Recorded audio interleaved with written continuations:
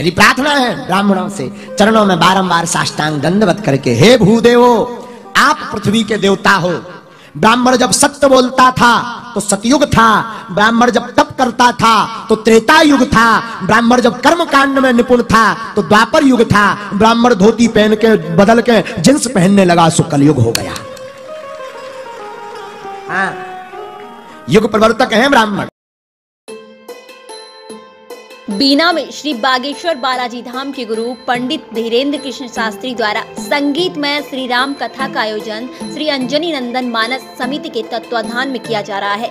8 मई से 16 मई तक चलने वाली श्री राम कथा के पहले दिन बीना में मंगल कलश यात्रा का आयोजन किया गया। जिसमें लगभग पंद्रह हज़ार से अधिक महिलाएँ अपने पर कलश रखकर नगर भ्रमण पर निकली।